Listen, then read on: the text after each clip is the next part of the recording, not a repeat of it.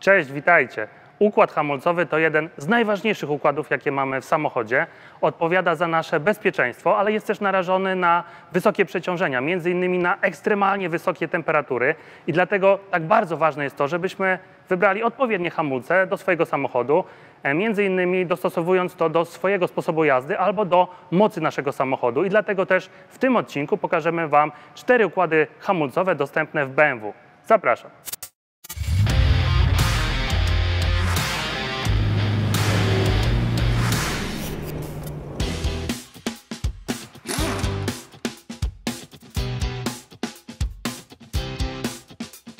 Nie zamierzamy poprzestać dzisiaj jednak na samej teorii. Chcemy Wam pokazać wszystkie te układy hamulcowe z możliwie jak najbliższej odległości i dlatego też znajdujemy się na naszej hali serwisowej, a z tyłu za mną widzicie cztery samochody.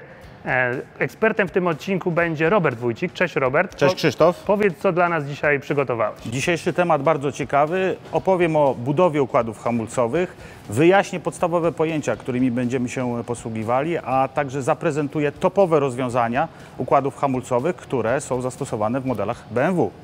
A jeżeli Wy po obejrzeniu tego filmu będziecie już w stanie sami wybrać odpowiedni układ hamulcowy do swojego samochodu, to pamiętajcie, żeby polajkować ten film. Pamiętajcie o tym, żeby zasubskrybować nasz kanał. Układ hamulcowy to jeden z najważniejszych układów w samochodzie. Natomiast jego budowa nie jest bardzo skomplikowana.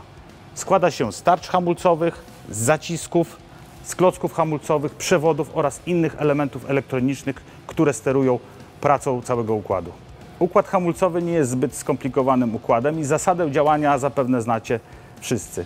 Naciskając na pedał hamulca powodujemy, że klocki dociskają się do tarczy, wytwarza się tarcie, które zatrzymuje samochód. Przy hamowaniu wytwarza się również bardzo duża ilość ciepła oraz pył, który zazwyczaj osadza się na wewnętrznej stronie felg. W jaki sposób zabezpieczyć nasze felgi, w jaki sposób pozbyć się tego pyłu hamulcowego, link do filmu znajdziecie w rogu ekranu. Nie wspomniałem jeszcze o klockach hamulcowych, które są umieszczone po obu stronach tarczy. Klocki mogą posiadać różną wielkość, kształt, e, mogą być zrobione z różnych materiałów. Podobnie jest z tarczami. Tarcze mogą być niewentylowane, mogą być wentylowane, mogą być nawiercane, nacinane, nacinane i nawiercane. To wszystko ma bardzo duże znaczenie w odprowadzaniu ciepła. Podobnie jest z zaciskami. Zaciski mogą być zrobione z różnych materiałów, posiadać różny kształt, posiadać różną liczbę tłoczków. Generalnie im więcej tłoczków posiada zacisk, tym skuteczność siły hamowania jest większa. Jaki układ hamulcowy wybrać dla siebie? To wszystko zależy od tego, w jakich warunkach użytkujemy nasz samochód. Czy to będzie jazda z dużymi prędkościami na trasie, jazda głównie po mieście, w górach, a może na torze. O tym, jakie możliwości, jakie rodzaje układów hamulcowych występują i jak dobrać się najlepiej dla siebie, o tym opowiem już Wam za chwilę. Zacznę od prezentacji układu standardowego.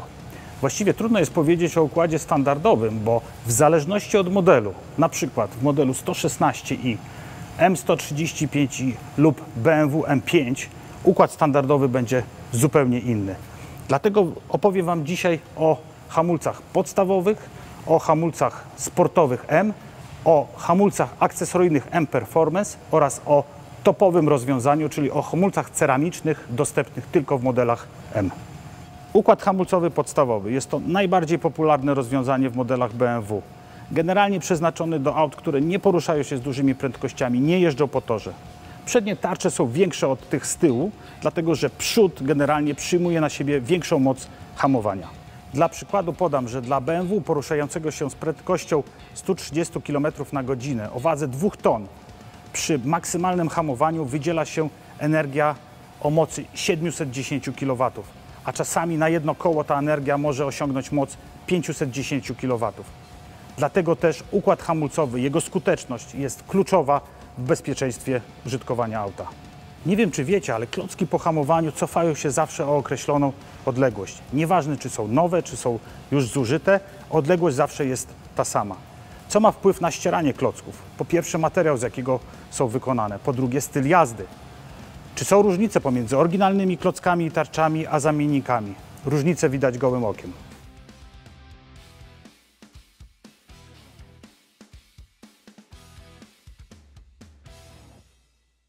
Hamulce sportowe M w większości modeli dostępne jako opcja. Większa tarcza, większy zacisk, większy klocek, cztery tłoczki z przodu. powodują, że ten układ jest bardzo wydajny. Generalnie zastosowane nowoczesne materiały powodują, że ten układ jest lżejszy od układu standardowego, a waga elementów nieresorowanych, jeżeli jest niższa, prowadzenie samochodu jest lepsze. Ten układ kojarzy nam się głównie z zaciskami w kolorze niebieskim, ale występują również zaciski w kolorze czarnym oraz czerwonym. Jeżeli BMW, które właśnie konfigurujecie, nie posiada w standardzie hamulców sportowych M, możecie je dodać poprzez wybranie pełnego pakietu sportowego M oraz felg w rozmiarze minimum 18 cali. Jako ciekawostkę powiem również to, że w tym układzie tarcze są całkowicie gładkie oraz mamy tutaj specjalne wloty powietrza, które dodatkowo chładzą ten efektywny układ hamulcowy. Hamulce M-Performance są to hamulce akcesoryjne. Pozycjonujemy je półkę wyżej od rozwiązania, które przed chwilą prezentowałem. Czym się charakteryzują? Jeszcze większa tarcza, dodatkowo tarcze mogą być nawiercane i nacinane, bądź tylko nawiercane. Układ ten jest dostępny tylko do wybranych modeli. Zazwyczaj w układzie M-Performance zaciski są w kolorze czerwonym, natomiast mogą również występować y, w kolorze żółtym i pomarańczowym.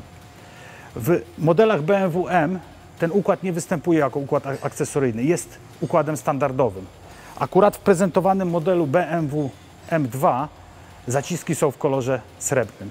Jako ciekawostkę dodam, że w tym układzie zastosowano pływające tarcze hamulcowe, które powodują, że ten układ jest jeszcze bardziej wydajny.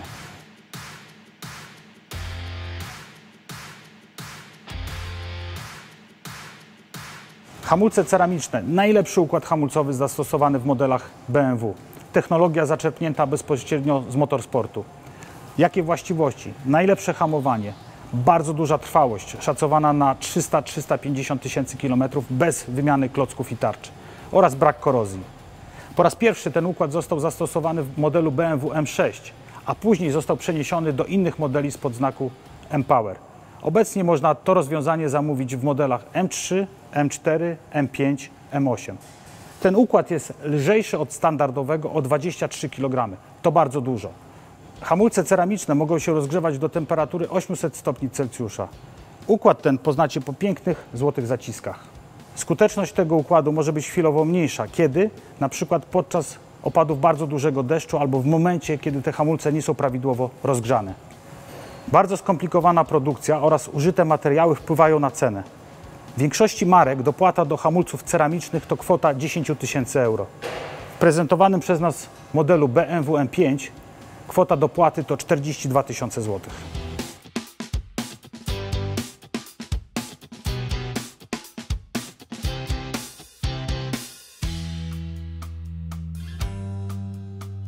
Wiem, że Robert skończył już opowiadać Wam o wszystkich układach hamulcowych i tak naprawdę dziękuję Robert, bo odwaliłeś za mnie całą czarną robotę. Ja tylko dorzucę do tego dwie rady.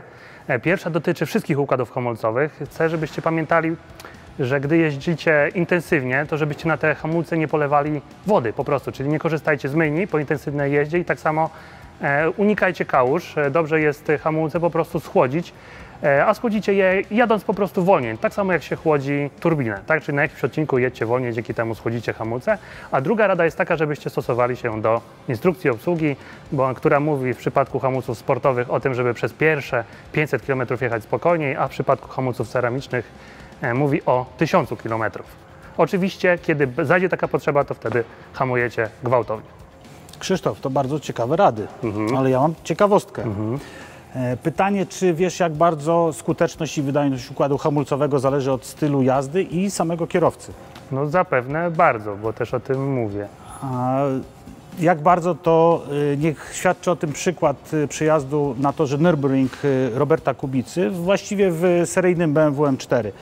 Robert zrobił tam 36 y, okrążeń i przejechał y, ponad 756 km. I co się okazało? Klocki były starte do połowy. Czyli gdybyśmy jeździli tak jak Robert Kubica, w momencie dwukrotnej jazdy z Warszawy do Gdańska i z Gdańska do Warszawy, klocki byłyby do wymiany. Na szczęście y, tak nie jeździmy, więc trwałość tego układu hamulcowego jest zdecydowanie większa. Myślę, że to jest bardzo fajne podsumowanie tego filmu. Dziękuję, Robert. Dziękuję Krzysztof. Żeby przebić Roberta, mam dla Was na koniec jeszcze jedną ciekawostkę, bo nie wiem czy wiecie, ale z naszego BMW M5 i z każdego BMW M, które będzie posiadało hamulce ceramiczne, nie zdejmujemy koła normalnie. Mamy do tego specjalne urządzenie właśnie po to, żeby podczas zdejmowania koła nie uszkodzić tej bardzo drogiej ceramicznej tarczy. I to już będzie na dzisiaj koniec. A jeżeli ten film Wam się podobał, to pamiętajcie o tym, żeby go polajkować. Pamiętajcie też o tym, żeby zasubskrybować nasz kanał, bo wtedy będziecie na bieżąco. A gdybyście mieli jeszcze jakieś pytania, to napiszcie mi je śmiało w komentarzu poniżej. Dziękuję, do zobaczenia.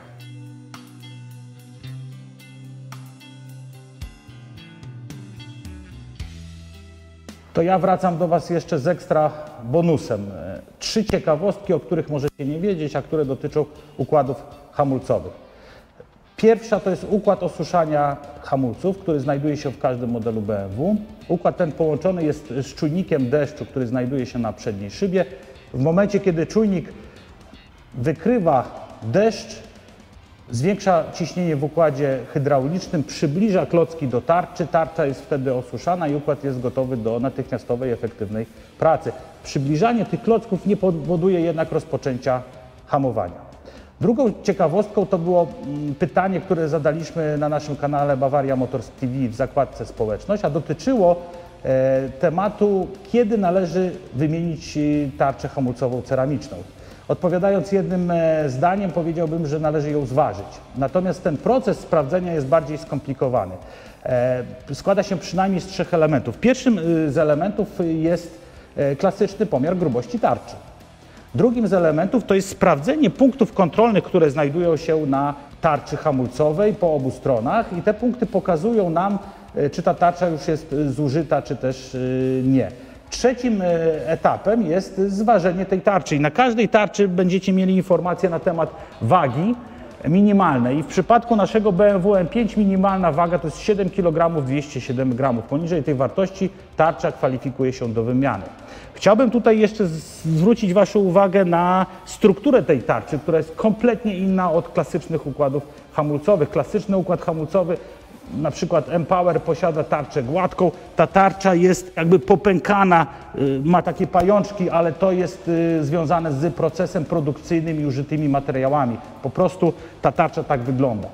Trzecią ciekawostką to jest y, rzecz związana z nowymi modelami BMW M3, M4, które już wkrótce pojawią się u nas w salonie i oczywiście przygotujemy o nich wiele ciekawych materiałów, ale po raz pierwszy będzie dostępny w modelach M przycisk Setup, który będzie regulował czułość układu e, hamulcowego, więc y, będziecie mogli sobie wybrać dwa nastawy, komfort, sport i wtedy ten układ dostosować do swoich potrzeb. To wszystko na dzisiaj. Piszcie, pytajcie, lajkujcie. Do zobaczenia.